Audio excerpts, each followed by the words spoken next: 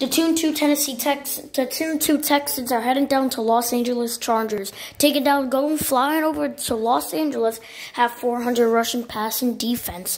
After they have 400 rushing sack and TDs as they throw a 60 point yarder TDs, no TDs, but six sacks have been heard. Wentz throws sideline, complete passes, court touchdown, Lenny and they only have rushing passes touchdown.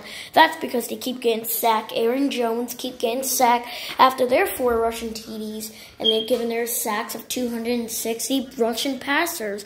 But they didn't have no Charger brokens. So if you had 214 Ds, what's if you're under seven, that's not good. And you know, make a trip back east of Dark Seeks right now. So if they have 455 sacks, please leave a comment down below of what you're voting for and what they produce. So if it was you, if you're under seven, that's not good.